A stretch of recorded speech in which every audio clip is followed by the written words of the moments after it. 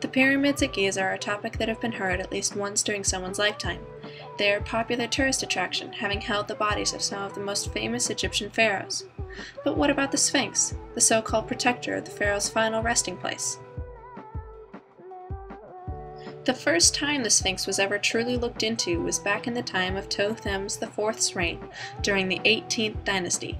Thothmes recorded his time with the Sphinx, explaining how he tried to protect it from the raging sands that surrounded it, leaving behind evidence of the walls he built for future generations to discover.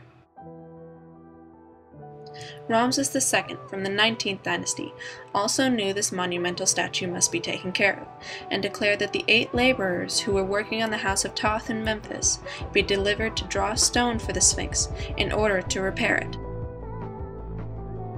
To the Egyptians, that cat like statue in front of the pyramids was just as important as the pyramids themselves. It represented the three Egyptian gods Harmachis, of the rising sun, Khepri, the sacred scarab of reincarnation, and Atum, of the setting sun and the human race. Even without that representation, just the body of the beast would create a sense of assurance to those pharaohs buried deep beneath the sand and under brick. From the Egyptians' belief of mythology, we know that the lion was seen as a guardian of sacred places. It was once recorded that the Sphinx had spoken a riddle to any who approached. What is it that walks on four legs in the morning, on two at noon, and in the evening upon three? With the answer being humans, the Sphinx, as the shadow connection between heaven and earth, would grant safe passage between the two worlds.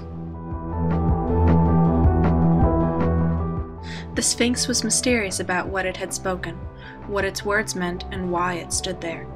Always the icon of modern Giza, the Sphinx may never speak again without his pharaoh's command, and with the death of the ancient world, he may never speak again.